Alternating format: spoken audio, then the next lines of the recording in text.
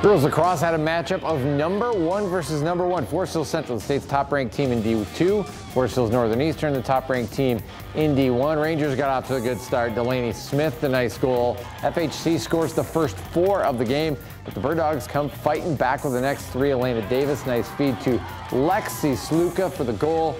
And this was a one-goal game at the half, four to three. But Central came out of the break playing well. Shannon Murphy able to bat the loose ball into the net. Rangers win 10-5 and improve to 6-0 on the season.